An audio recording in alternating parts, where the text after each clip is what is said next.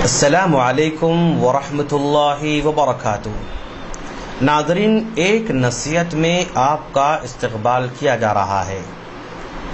ہم اس موقع پر یہ بات سمجھانا چاہتے ہیں کہ عام طور پر ہم نے سوسائٹی میں دیکھا ہے کہ لوگ صرف دوسروں سے دعاؤں کی درخواست کرتے رہتے ہیں۔ جب بھی وہ کسی دوست سے ملتے ہیں کسی بڑے آدمی سے ملتے ہیں، کسی بزرگ سے ملتے ہیں، کسی عالم سے ملتے ہیں۔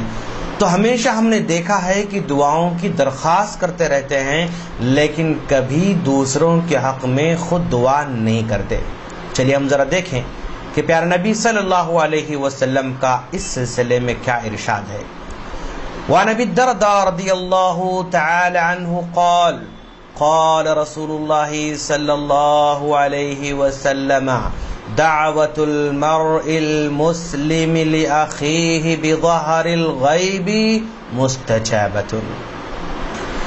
وعند رأسه الملك المؤكل كلما دعا لأخيه بخير فيقول آمين. ثم يقول ولك بمثلي. رواه مسلم.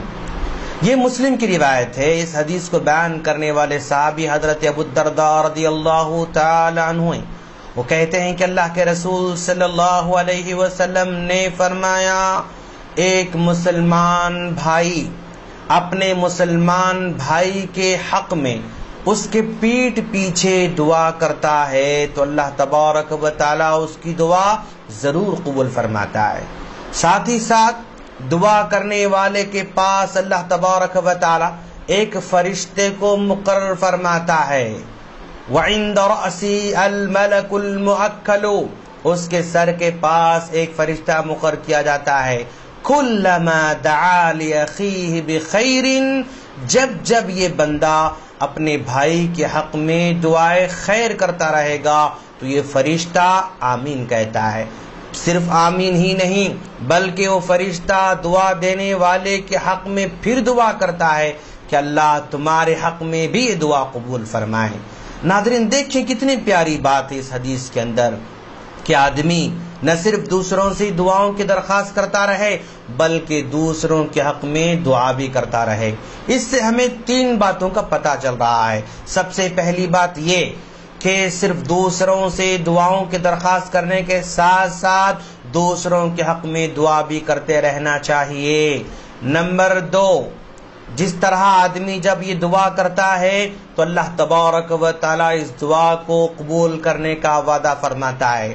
نمبر تین، جب یہ دعا کرتا ہے تو اس کے پاس فرشتہ مقرر کیا جاتا ہے۔ فرشتہ اس دعا پر آمین کہتا ہے اور ساتھ ساتھ میں اس دعا دینے والے کے حق میں دعا کرتا ہے کہ اللہ تعالیٰ تمہارے حق میں بھی دعا قبول فرمائے۔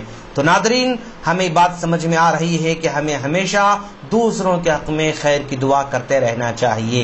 ناظرین، اگر آپ کو ہمارے یہ ویڈیوز ڈائریکٹ چاہیے تو ہمارے اس نمبر پر ریکویسٹ بھیجیں۔